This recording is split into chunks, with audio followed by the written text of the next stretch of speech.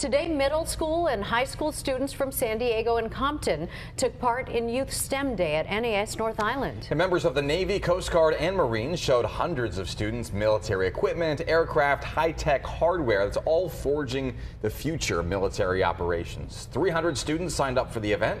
Organizers say the goal is to inspire the next generation.